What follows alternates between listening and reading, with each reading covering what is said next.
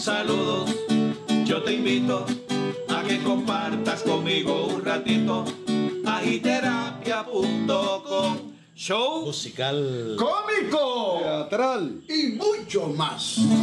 Desde la playa en Ponce, Puerto Rico. Aforae. Mi nombre es Gentil Stansbury. Alexander Cedeño. fundadores, directores, directores artísticos, escenografía. Bueno, hacemos de todo, hacemos de todo aquí. Cuénteme, ¿cuál es la historia de este negocio? ¿De cómo empezó? De... Comenzó como un accidente. Empecé toda mi vida bailarina. En un momento dado, pues durante mi embarazo, el doctor decide que no puedo seguir bailando. Dice, como tú le vas a decir a una bailarina de los tres años, tú no puedes bailar más.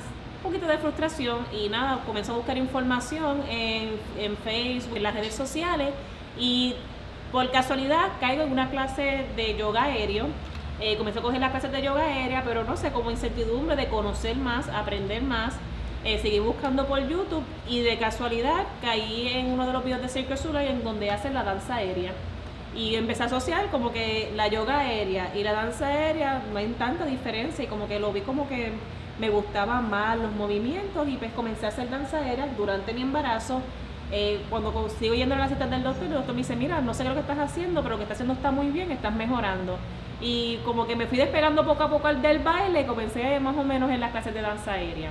¿Qué edad tiene tu bebé ahora? Tiene siete añitos. Ya sabes, Eh, estamos hablando de hace siete años Sí, atrás, hace siete años atrás eh, comencé a dar clases en distintas academias, a tratar de traer la danza aérea al sur, acá a Ponce, porque ya en San Juan pues ya habían eh, dos grupitos, la Academia de Subcielo y también estaba la Escuela Cirquense de Cagua. Eh, nada, quise como que traer una nueva modalidad hacia el área sur, lo cual lo hicimos. Eh, para muchas personas fue algo, fue algo novedoso, muchas personas le tenían miedo por cuestión de seguridad. Eh, y un día eh, decidí hacer mi propia academia. Eh, luego de hacer mi propia academia, eh, comenzamos con siete niños. ¿Y que dónde fue- aparece Alexander? Yo aparezco porque Gentil y yo nos conocemos hace 13 años.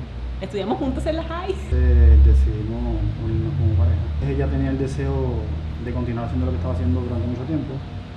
Y yo sin saber mucho, pues le dije, pues vamos para allá arriba. Vamos a lanzar. Resultó una fórmula perfecta. Sí, hemos vivido siempre en Ponce. Yo, yo viajaba a San Juan a coger las clases.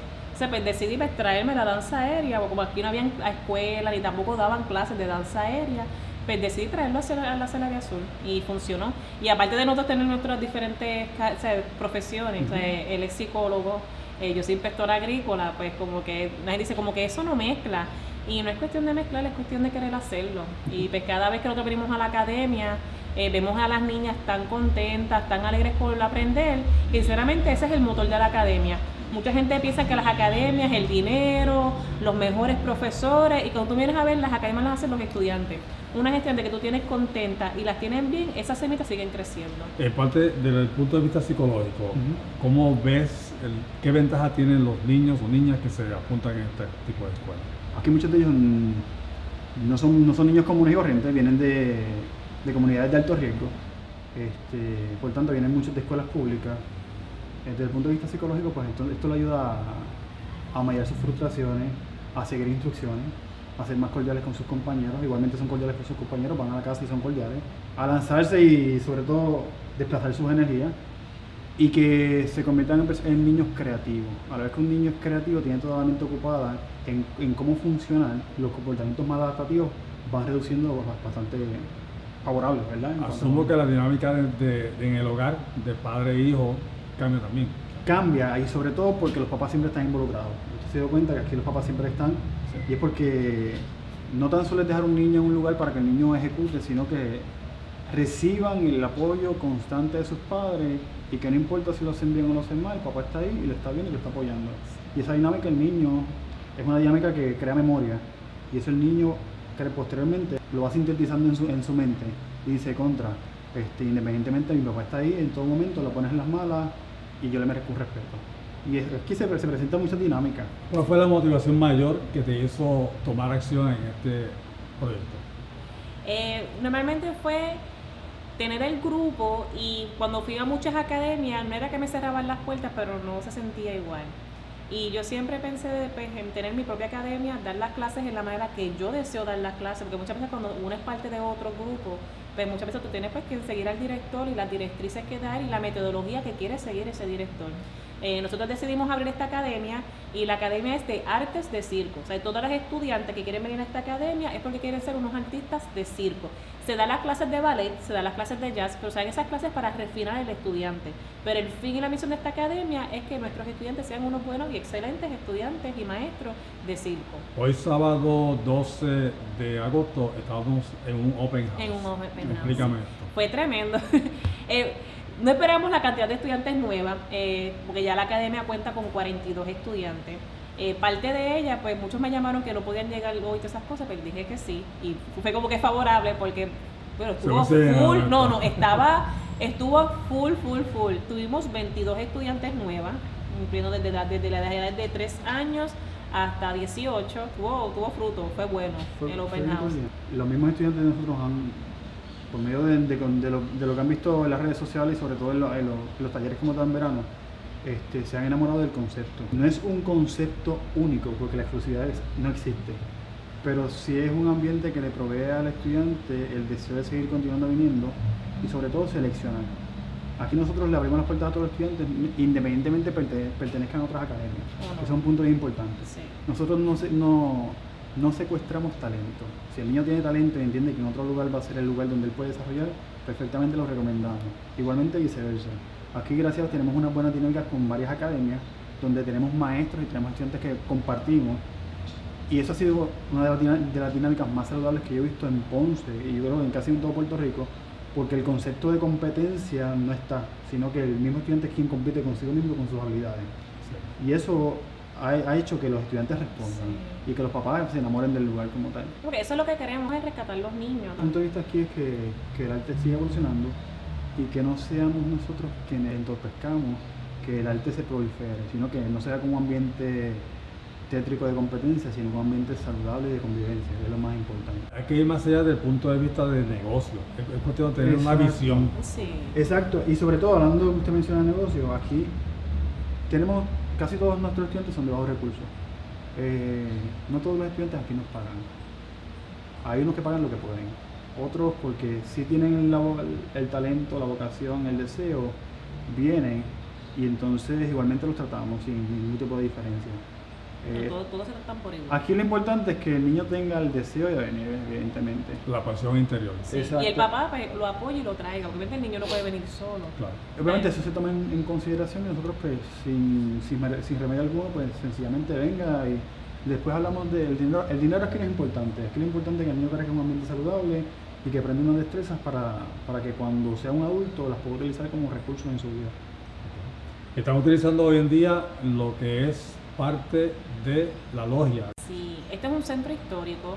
Esto fue casa de bomberos, fue ayuntamiento, fue hospital. Este edificio está de- desde el 1902 aquí en la playa de Ponce. Lo conseguimos por gracias por el licenciado Limaldo. Él como que dice que es como un loco, pero gracias a Dios es un loco que mantiene la cultura viva aquí en la playa de Ponce. Decíamos, Gilberto Limaldo es una persona bien activa en la playa de Sí, Ponce. sumamente. Digo, gracias a él todavía tenemos el carnaval, tenemos el cruzonado. Hay muchas cosas que le están envuelto. Periódico. Sí, El no, periódico. ¿sabes? Y pues cuando yo le vine con, con mi idea, digo, otra, él me dice que yo soy otra loca igual que él, eh, yo vine con la idea de pues, que yo estaba, quiero hacer la, la academia de danza aérea, que la quiero hacer de circo, y él me dice, pues bien, yo quiero hacer un centro, un centro cultural, y hasta ahora, pues yo veo ese intercambio así de ideas y cosas, es lo que ha funcionado.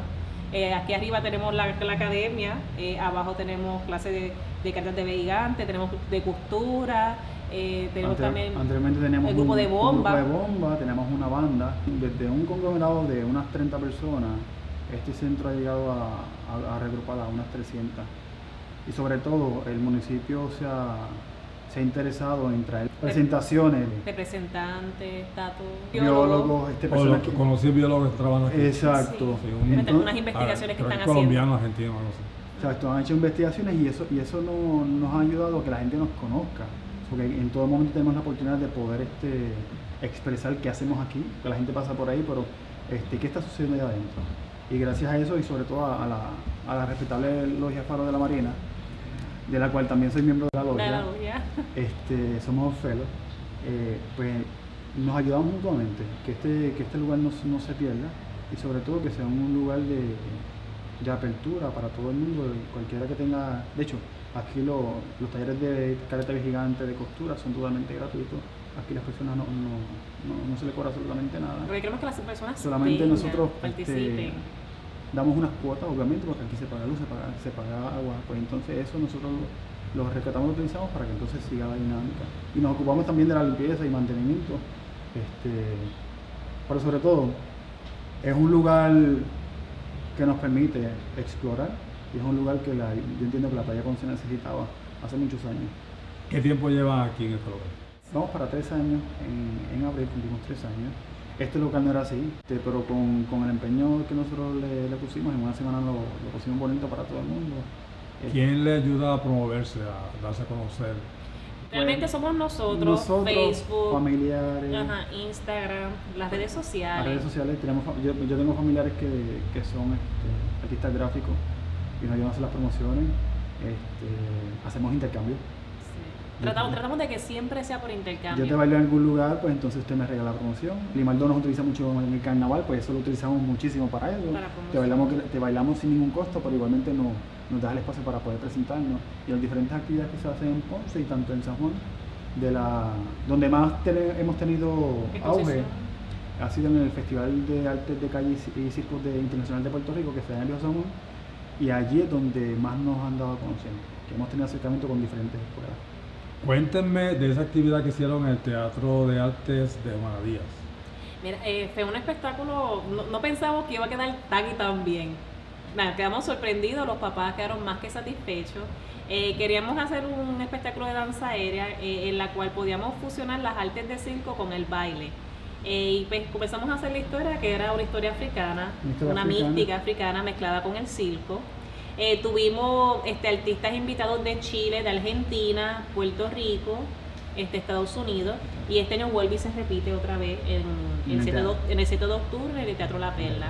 Eh, el pasado, el de enero, eh, tuvimos 26 estudiantes, ¿verdad? Tuvimos 26 estudiantes Participando participando. ¿Cómo se llama el show? Se llama Cuajeri eh, y es, as- significa hasta luego de Nigeria, en el idioma de Nigeria. Era Exacto. Swahili, Swahili, idioma Swahili. Este, lo que significa es, ¿verdad? es como dar una bienvenida o una despedida. Eh, lo que representa en el show que nosotros este, presentamos es la historia de una boda, donde una chica, donde una chica se enamora y luego su pareja muere. Pero no, lo, no partimos desde el concepto de la tristeza y la agonía, aunque los sentimientos están involucrados, sino de cómo, cómo cada artista expresa los sentimientos a través de sus habilidades, ya sea malabares, danza aérea, Acropolitana. este, y siempre es un momento de tensión, porque siempre hay algo, algo que va a pasar. Es una obra súper entre- súper entretenida, es, es una obra súper seria este, y dinámica, donde en todo momento la gente siempre tiene algo que ver, algo que sorprenderse. Y eso fue. Nosotros lo hicimos por a ver qué pasaba y resultó que salió muy bien. ¿Y quién montó la obra? Gentle Stansbury, Yo, yo como digo, yo con mis loqueras. Pues yo digo, yo, yo tengo 20 mil ideas, porque Cedeño es el que me hace poner los pies en el piso. Yo digo, Alexander, yo quiero que esta no salga de aquí, salga para acá y coge esto y se tira al piso y de allá sale un Sir Will, sale uno con malabares. ¿sabes? Alexander que dice, sí, Gentil, esto se puede hacer en teatro, esto no se puede hacer en teatro, esto sí es posible, humanamente es posible. No, porque a mí me corre la mente y... pues mira, la- Imaginación. el concepto Sí. original fue de Gentle, este, tuvimos la aportación de varias personas también. Sí, Lice Eh, Rodríguez nos ayudó con el libreto. Hizo el libreto. Y de, a partir del libreto, pues ya todo lo que Gentil había hecho Cogió tomó- vida. Cogió vida y tomó sentido. Había una secuencia.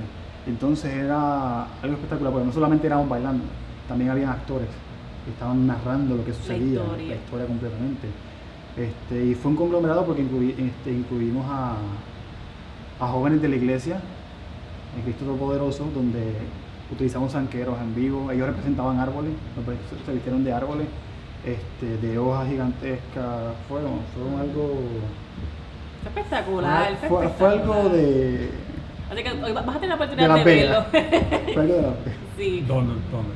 No, va a ser el, cuando lo veas el 7 de octubre vas a ver de lo que estamos hablando, te Oh, quedó 7 de espectacular. Muchos papás estaban, eh, esta taquilla no puede costar esto, tiene que, tiene que costar más, pero esto estuvo espectacular. Otro. Lo que queremos es hacer un precio accesible para que las personas puedan ir al espectáculo. Porque entendemos bien que la economía no está lo más favorable, muchas familias no son uno ni dos, o sea, son bastantes. Y muchas veces sacar 15 dólares por una taquilla, pues como que fuerte. Y pues decidimos dejar la taquilla en 10 dólares. 10 dólares. Para que si sea un costo festivo para muchas personas no puedan para, a la puedan familia. pagarla. Luego del Teatro La Perla, ¿dónde van a ir? Luego del Teatro La Perla Aún no. pensamos cesar Cuajeri, pues ya lo hicimos dos veces. Eh, siempre nuestros profesores están cogiendo entrenamiento.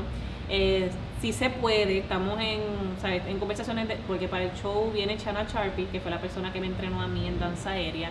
Ella es artista de Circo Soleil, ahora mismo tiene dos academias, una en Turquía y otra en Nueva York. en Nueva York, pero tiene en el Medio Oriente. Está- es Turquía Bien. y Líbano. en el Líbano. Tiene dos academias de danza aérea y pues ella va a venir ahora a dar los, los nuevos entrenamientos, las nuevas modalidades que hay de danza aérea y en, el- en uno de los casos pues ella necesita, ella necesita una maestra, obviamente yo no puedo irme con ella y pues uno de nuestros maestros se estará yendo con ella para el Líbano. Este, y esperamos también que en el, en el próximo verano nuestros, nuestros Agosto- estudiantes Agosto, agosto- agosto del 2018, bueno, en la presentación que fuimos al Circo Fest este año, este, competimos a nivel mundial con todo el mundo, logramos un segundo lugar. Eh, de las mejores compañías, de- porque lo que buscan los jueces es este, los conceptos circenses y que sea atractivo y que ¿El la- concepto qué? circenses. Circense. Sí, de circo, de circo. Que la gente se mantenga, que la gente esté todo el tiempo activada, pues con el apoyo del público logramos un segundo lugar. Y en base a eso, pues una, eh, una compañera de, De la- Educare. de- de Educare, es una psicóloga social que tiene una escuela de circo. eh, ellos son, trabajan directamente con Cirque du Soleil, entonces ella como directora me hizo el acercamiento personalmente para invitarnos en agosto del 2018 para un campamento de Cirque du Soleil. Con nuestra sí, en uno de los- Totalmente gratuito para nosotros como estudiantes. acá. ¿No sabes dónde va a ser? Va a ser en, va- suponemos va a ser en Puerto Rico, pero va a ser en Dorado, lo- lo- porque su Cirque du Soleil tiene diferentes sucursales en todo el mundo. Y una de las más cercanas está en República Dominicana. Y varios, varios profesores de diferentes países vendrían a Puerto Rico para entonces entrenar. Yo le mencioné a Gentil de que tengo un grupo Ajá. que son actores. eso- Entonces hoy se estaban reuniendo ellos con Alida Rimendi y le mencioné sobre ustedes y dice Sí. que ustedes también me han ido a participar en las obras que tienen ellos. Sí, no, vamos a hacerlo. Yo después, a mí no me, después que sea... Nosotros siempre estamos, estamos en- involucrados en todo. Inclusive en un momento dado estuvimos trabajando directamente con Miss Universe, Miss Universe de Puerto Rico, haciendo presentaciones en el ella. área. Y hemos sido invitados en, en varias ocasiones a diferentes escenarios donde nos hemos presentado gustosamente. Eh, aquí nosotros amamos, nos gusta hacer las cosas. Y mis estudiantes, las nenas Tú, son... tú- nos pueden llamar mañana y decir, ¿tienen algo para ir? Vamos para allá. Aquí, este, y si no lo, y si no lo podemos hacerlo, les recomendamos a alguien porque gracias a Dios tenemos una buena comunicación con, con otras escuelas de circo. Y la dinámica es muy diferente, es como si no estuvieses en, en Puerto Rico. Porque tú, dices- tú le tú llamas a un compañero, mira, hay una presentación, quieren malabares, quieren esto, y dices, vamos para allá. Y eso es una, eso es una, una dinámica muy buena. Va a llegar el momento en que alguien los va a ver y, va, y se los va a llevar para coger el mundo posiblemente. Ay, ojalá. Pero entonces viene la parte económica porque tiene 40 o 50 estudiantes, Parte del- de la obra en sí, que tienen que moverse, ¿no? ¿Cómo están solucionando la problemática económica? Pues mira, aquí la, la aportación- las aportaciones de los padres este, es muy generosa. Aquí, gracias a Dios, tenemos la oportunidad de tener un, un kiosco donde vendemos cosas. Eh, Para comprar los para comprar vestuarios comprar vestuarios. cosas, se hacen ventas, se se, hacen ventas rifas, se hacen ventas. todo, rifas, tenemos apoyo. todo. Este, y aparte, aparte, pues tenemos nuestros profesores, nuestros trabajos, que pues, madera. Un, dos, tres, pues gracias a nuestros trabajos son buenas profesiones. Él era profesor de la UPR, también trabajaba en Cristo Pobre, es psicólogo, entonces pues yo soy inspectora agrícola de USDA y pues gracias a nuestros pues, trabajos normales pues que podemos pues, dar un backup a la academia. Igualmente, lo importante es aquí, cada papá eh, se- eh, se ocupa de su hijo, de lo que necesita, porque los vestuarios le pertenecen a los hijos. Nosotros no tenemos nada de nosotros, solamente lo que lo demás le pertenece a los niños. Y como ven, como se- cuando vienen aquí y se sienten tan motivados, pues ellos prácticamente el, di- el dinero no es, un, no es un estorbo para que ellos continúen. Vamos a repetir el nombre de la compañía, los nombres suyos pausadamente. Sí. Luego, ¿dónde pueden conseguirlo ustedes? Para, si tienen apenas website o, Sí, o sí, sí, Facebook, sí. emails, teléfonos.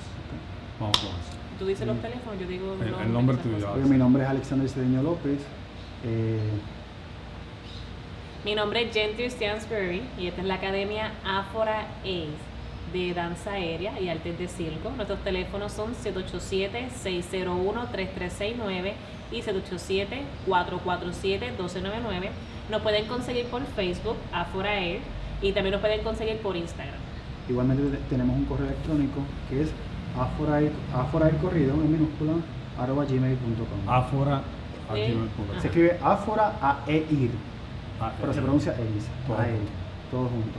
Ahí nos pueden conseguir pues, este, para cualquier solicitud o los números, igualmente recibimos mensajes de texto y los respondemos instantáneamente. Hay dos tipos de personas que nos están escuchando hoy en día. Uno es aquella persona que es eh, padre de un hijo que tiene un talento, que se conoce tiene un ale- talento.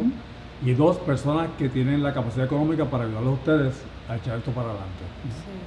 Así que esas dos personas, el email tuyo otra vez. Afora, aforair arroba gmail.com y teléfono 787-447-1299 o el 601-3369. Personas que son fuera de Ponce, o sea, ustedes se reúnen cada eh, qué tiempo. Vamos a estar ahora lunes, martes, miércoles, jueves y sábados. De lunes a jueves estamos de 5 y 30 de la tarde hasta 8 y 30 de la noche y los sábados estamos desde las 9 de la mañana hasta las 4 de la tarde. Aquí en la playa de Ponce. Aquí en la playa Ponce, en este local. Algo que se nos queda en el tintero, que quieras traer a colación. Nada, la invitación cordial a todo el mundo, ¿verdad? Que nos, que nos siga apoyando, que nos busque en las redes sociales y sobre todo que se den cita el 7 de octubre en el Teatro de la Perla en Ponce. Se venderá las taquillas en el mismo Teatro de la Perla o aquí en el local. Este, para que, 10 dólares la taquilla. 10 dólares la, la taquilla para que haga un espectáculo casi imposible de repetir aquí en Ponce. Será sábado 7 de octubre. Muchas gracias. Ah, Ok, gracias a ti. Gracias,